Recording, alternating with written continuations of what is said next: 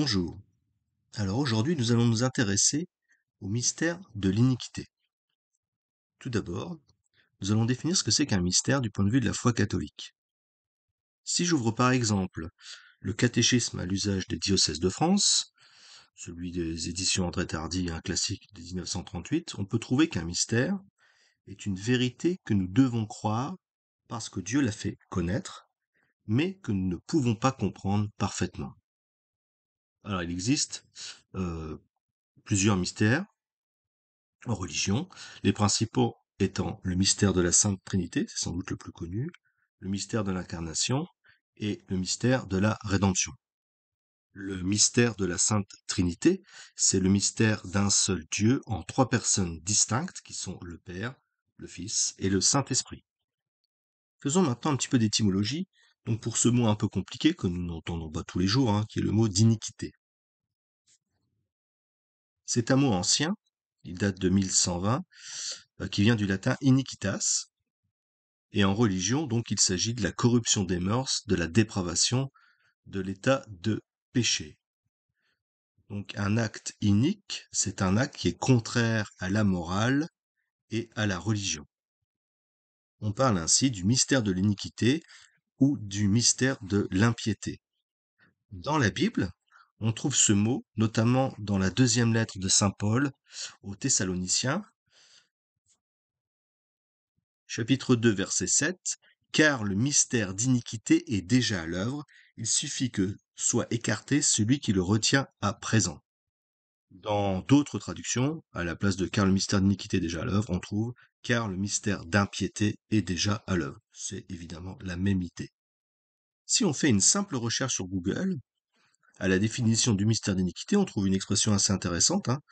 Je vous lis le texte. Expression tirée de Saint Paul, désignant l'emprise de Satan sur le monde, qui semble faire, échec au dessein de la providence et qui constitue donc un mystère pour les croyants, qu'on appelle donc le mystère d'iniquité. Revenons au début de la Bible et notamment euh, au début de la création. Dans la Genèse, chapitre 1, verset 12, il est dit La terre produisit de la verdure, de l'herbe portant de la semence selon son espèce, et des arbres donnant du fruit et ayant en eux leur semence selon leur espèce. Dieu vit que cela était bon. Pourquoi je, cite ce verset euh, qui apparemment n'a aucun rapport avec le mystère de l'équité, tout simplement parce que il faut bien se rendre compte que aussi bien l'ange, et donc Lucifer dont on, dont on parlera plus tard, hein, Lucifer le porteur de lumière, aussi bien l'ange que l'homme sont créés totalement bons. Le mal, le péché, Satan lui-même ne font pas partie du plan divin à chaque étape de la création, donc selon la Bible, donc dans le verset que je viens de citer, Dieu contemple son œuvre et se rend compte et dit que cela est bon. Donc tout ça pour dire que ce n'est pas Dieu qui crée le mal. Dieu ne crée que de bonnes choses. Et ainsi, euh, le mal, le péché, Satan, ne font pas partie du plan divin. Si maintenant je m'attarde un petit peu euh, dans le catéchisme de l'Église catholique, notamment au numéro 385, où on parle de la chute. Dieu est infiniment bon et toutes ses œuvres sont bonnes, c'est ce que je viens de dire.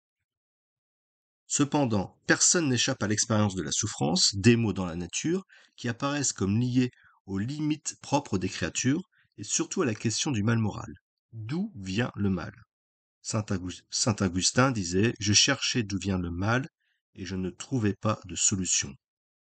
Et sa propre quête douloureuse ne trouvera d'issue que dans sa conversion au Dieu vivant. Car le mystère de l'iniquité, donc des Thessaloniciens chapitre 2 verset 7, ne s'éclaire qu'à la lumière du mystère de la piété. Le mystère de la piété, aussi le mystère de la foi, c'est en quelque sorte le mystère de l'incarnation de Dieu en un être humain. Dieu est venu sur terre en tant qu'être humain la révélation de l'amour divin dans le Christ a manifesté à la fois l'étendue du mal et la surabondance de la grâce. Nous devons donc considérer la question de l'origine du mal en fixant le regard de notre foi sur celui qui, seul, en est le vainqueur. Donc il y a un lien entre le mystère de l'iniquité et le mystère de la foi, le mystère de la piété, à travers donc la personne de Jésus, qui s'est donc sacrifié en tant qu'agneau de Dieu pour expier nos péchés sur la croix. Toujours dans le catéchisme de l'Église catholique, mais au numéro 677, l'épreuve ultime de l'Église, donc il y a aussi un lien mystère de l'iniquité avec l'épreuve ultime de l'Église, avant l'avènement du Christ, l'Église doit passer par une épreuve finale qui ébranlera la foi de nombreux croyants.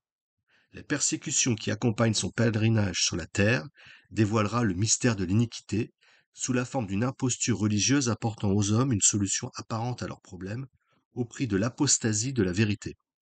L'apostasie, c'est l'abandon de la foi et de la vie chrétienne, donc c'est un terme très fort.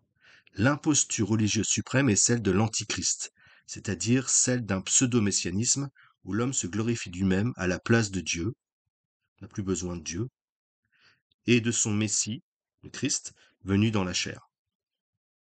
Et tout ça pour dire que l'Église, à la fin des temps, là on fait de l'eschatologie, de l'étude de la fin des temps, va vivre ce qu'a vécu le Christ dans sa chair, c'est-à-dire une crucifixion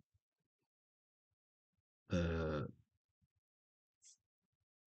qui permettra au final le retour du Christ. Ne perdons pas de vue tout de même que euh, là on fait de l'eschatologie, donc la fin des temps, que le mystère de l'iniquité, ce n'est pas que pour la fin des temps, on a parlé euh, un petit peu du début, on va y revenir après, mais cet esprit d'iniquité, il est déjà répandu dans la société, dans, euh, dans la mesure où bah, il, demeure un mystère, hein, bien sûr, donc difficile à comprendre, on l'a dit au tout début, donc un mystère, ce mystère de l'iniquité, il est difficile de l'appréhender du point de vue de l'intelligence humaine. Donc là, j'essaye simplement de donner des pistes pour essayer de comprendre partiellement ce qu'est le mystère de l'iniquité, mais qui ne peut que rester finalement un mystère. Hein. Donc c'est difficile de le comprendre. Donc mystère de l'iniquité, ça veut dire que il est depuis le début, depuis Adam et Ève, il est présent sur Terre. Le mal est présent sur Terre.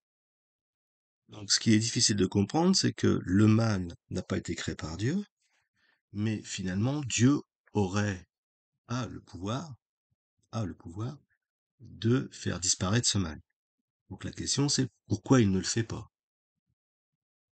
C'est pour ça que c'est un mystère et que c'est difficile à comprendre d'ailleurs. Donc on parlait tout à l'heure du mystère de la piété, je vous avais donné une première définition. Hein. On retrouve ce mystère de la piété, mystère de la foi, dans la Bible. La première lettre de Saint Paul à Timothée, verset, donc chapitre 3, Timothée, verset 16. Assurément, il est grand le mystère de notre religion, c'est-à-dire le mystère de la piété. C'est le Christ manifesté dans la chair, justifié dans l'esprit, apparu aux anges, proclamé dans les nations, cru dans le monde, enlevé dans la gloire. Donc c'est finalement le mystère de l'incarnation de Jésus dans un être humain et son passage sur la terre. Le pape euh, Jean-Paul II a aussi parlé du mystère de l'iniquité, notamment dans une audience générale du mercredi 18 août 1999, qui s'appelle La voie de la conversion, libération du mal. Et notamment, il parle de cette prière la plus connue, qui est dans la Bible, dans le Nouveau Testament, qui est la prière du Notre Père, qui fait donc la référence au mal, enfin qui fait une référence explicite au mal, euh, dans le terme poneros, donc c'est dans Matthieu 6, verset 13, dans la traduction liturgique, ce verset 13, c'est Et ne nous laisse pas entrer en tentation, mais délivre-nous du mal. Du mal. Euh, donc, euh, prière bien connue, Notre Père qui es aux cieux, que votre nom soit sanctifié, que votre règne vienne, que votre volonté soit faite sur la terre comme au ciel, donnez-nous aujourd'hui notre pain de ce jour, etc. Donc, que dit le pape Jean-Paul II à ce sujet? Que dans cette euh, prière du Notre Père, et donc il y a une personnification du mal on pourrait appeler donc le diable ou Satan, qui s'est donc dressé délibérément contre Dieu et contre le projet, contre le dessein de Dieu. Et qu'actuellement, donc, on peut peut-être dire que Satan n'a jamais eu autant de pouvoir sur Terre et qu'il est attrayant du point de vue de beaucoup de choses, de l'argent, du pouvoir, de la liberté, qui séduit les esprits et les cœurs, au point de faire perdre le sens même du mal et du péché. il est écrit. Donc il s'agit de ce mystère d'iniquité dont parle donc saint Paul dans Thessaloniciens euh, chapitre 2 verset 7. Alors revenons à nouveau au début de la Bible, donc dans la Genèse, notamment au chapitre 3, euh, comme vous pouvez le voir sur ce magnifique tableau, où on va parler du serpent. Donc euh, notamment le verset 4 et le verset 5. Le verset 4, le serpent dit à la femme, pas du tout, vous ne mourrez pas. Alors pourquoi il dit ça? Parce qu'auparavant, donc, euh, Ève lui avait dit, euh, lui avait, avait répondu au serpent, nous mangeons les fruits des arbres du jardin, mais pour le fruit de l'arbre qui est au milieu du jardin, Dieu a dit, vous n'en mangerez pas, vous n'y toucherez pas, sinon vous mourrez. Et donc le serpent dit, mais non, mais non, pas du tout, vous ne mourrez pas. Alors il dit à la fois des choses vraies et fausses, effectivement, ils vont pas mourir. Mais Dieu sait que le jour où vous en mangerez, vos yeux s'ouvriront et vous serez comme des dieux, vous serez comme des dieux, connaissant le bien et le mal. Oui, parce qu'en fait, euh, Lucifer, justement, il n'a pas adhéré au projet divin pour être comme Dieu. Et donc, euh, ça va provoquer la chute d'Ève, elle va croquer la pomme, Adam va la croquer, et ils vont donc être chassés du jardin d'Éden par Dieu. C'est le péché originel.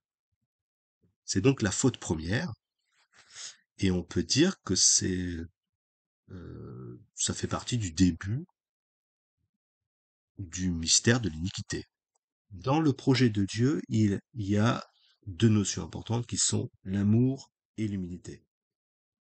D'ailleurs, la notion de kénos dérive de ça. Hein.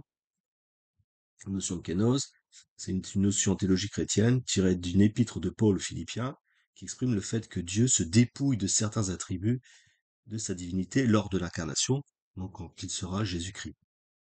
Si on regarde rapidement donc ces versets de Saint Paul aux apôtres, euh, enfin Saint Paul apôtre aux Philippiens, ayant la condition de Dieu ne retint pas jalousement le rang qu'il égalait à Dieu, Jésus est l'égal de Dieu, c'est la Sainte Trinité, mais il s'est anéanti, prenant la condition de serviteur, devenant semblable aux hommes, très humble, reconnu homme à son aspect, c'est ce qu'on appelle la kénose. Il s'est abaissé, voilà, kénose, abaissé, devenant obéissant jusqu'à la mort, et la mort de la croix. C'est ça la kénose. Si on revient à nouveau au catéchisme de l'Église catholique, notamment au numéro 390, il fait référence justement au récit de la chute, Genèse 3, avec le serpent et la pomme, qui utilise donc un langage imagé, mais il affirme un événement primordial, un fait qui a eu lieu au commencement de l'histoire de l'homme. La révélation nous donne la certitude de foi que toute l'histoire humaine est marquée par la faute originelle, commise donc par Ève et Adam, librement commise par nos premiers parents. C'est une chute finalement à cause de la liberté. Plus loin dans le texte, derrière le choix désobéissant de nos premiers parents, Adam et Ève, il y a une voix séductrice, la voix du serpent, la voix de Satan, opposée à Dieu, qui par envie, il est tente, hein, dit vos yeux s'ouvriront, les fait tomber dans la mort, euh, alors pas la mort physique tout d'abord, mais la mort spirituelle, L'écriture et la tradition de l'Église voient en cet être un ange déchu, appelé Satan ou diable. L'Église enseigne qu'il a d'abord été un ange bon, fait par Dieu. Il n'y a aucune raison pour que cet ange soit mauvais au début, puisqu'on a dit que tous les anges ont été faits par Dieu et que Dieu ne fait que du bon, il ne fait pas le mal. Le diable est, est devenu mauvais. Toujours plus loin, l'Écriture parle d'un péché de ses anges, cette chute entre guillemets, consiste dans le choix libre de ces esprits, de ces esprits créés, qui ont radicalement et irrévocablement, c'est-à-dire qu'ils ne changeront jamais d'avis, refusé Dieu, et donc le projet de Dieu, et son règne. Nous trouvons un reflet de cette rébellion dans les paroles du tentateur à nos premiers parents. Vous deviendrez comme Dieu. Le diable est pécheur dès l'origine, père du mensonge. Donc vous deviendrez comme Dieu parce que Satan et les démons veulent être comme Dieu. Voilà. Alors, ils croient en Dieu, évidemment, mais ils n'adhèrent pas au projet de Dieu. Euh, ils adhèrent à un projet plutôt de l'intelligence des anges et non pas de l'amour et du celui qui se fait le plus petit, la kénose qui se fait le plus humble. Non. C'est le caractère irrévocable de leur choix et non un défaut de l'infinie miséricorde divine qui fait que le péché des anges ne peut être pardonné. Il n'y a pas de repentir pour eux après la chute, comme il n'y a pas de repentir pour les hommes après la mort. On retrouve cette idée dans la somme théologique de saint Thomas d'Aquin, dans la première partie, prima pars, page 396 à l'article 3, à, à, cause de quel désir l'ange a-t-il péché? Isaïe fait dire au diable, je monterai au ciel et je serai semblable au Très-Haut. Saint Augustin écrit que dans son orgueil, le diable voulut être appelé Dieu. C'est de l'orgueil. La chute vient de l'orgueil des anges et notamment de Satan, leur chef. Pas de Lucifer au départ, de Lucifer. Toujours dans le catéchisme de l'Église catholique, au numéro 677, la rédemption des humbles, sur la fin des temps, l'Église n'entrera dans la gloire du royaume qu'à travers cette ultime Pâque, où elle suivra son Seigneur dans sa mort et sa résurrection. L'Église va être en quelque sorte crucifiée. Le royaume ne s'accomplira donc pas par un triomphe historique de l'Église, sur un progrès ascendant, ça va être de mieux en mieux. On se rend bien compte qu'actuellement, c'est plutôt le contraire, ça va de plus en plus mal dans l'Église, mais par une victoire de Dieu sur le déchaînement ultime du mal qui fera descendre du ciel son épouse, donc Marie. Le triomphe de Dieu sur la révolte du mal prendra la forme du jugement dernier après l'ultime ébranlement cosmique de ce monde qui passe. Donc voilà, on ne peut s'attendre pour l'Église catholique qu'à non pas donc un, progrès ascendant, mais euh, de pis en pis. Et donc on va vers euh, des temps difficiles pour l'Église. Ça reste aussi euh, quelque chose d'important pour le mystère de l'iniquité. C'est difficile à comprendre, mais c'est le dessin, euh, c'est le de Dieu. Dans un texte qui apparaît dans la dans le magazine Famille chrétienne, qui s'appelle Symbole du combat spirituel dans notre vie intellectuelle, qui a été écrit par le père Guy Emmanuel Cario, on peut y lire, il parle de l'orgueil. Celui qui est orgueilleux se croit supérieur aux autres, comme Lucifer. Le vaniteux, lui, veut que cela se sache, différence entre orgueil et vanité. Euh, l'orgueil est donc plus difficile à discerner car moins visible, plus intérieur. C'est ce qui habite le cœur d'Adam et Ève lorsqu'ils acceptent la suggestion du serpent.